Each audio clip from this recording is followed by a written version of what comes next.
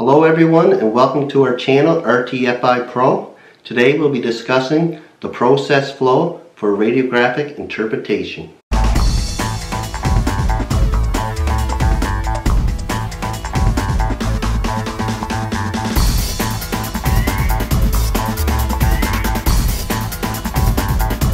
What we are going to do today is go through the general process of radiographic film interpretation.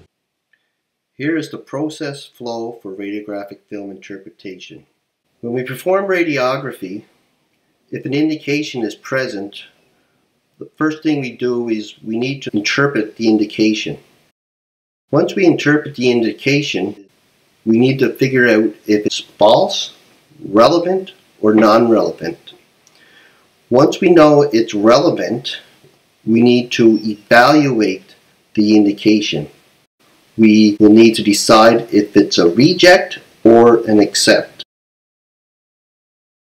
Here we have a radiograph with an elongated indication. The indication is a half inch in length, its width is 1.5 millimeters, the pipe size is 4 inch sked extra strong. The code is ASME B313 normal. Through evaluating, we know the indication is relevant. The indication is evaluated as slag.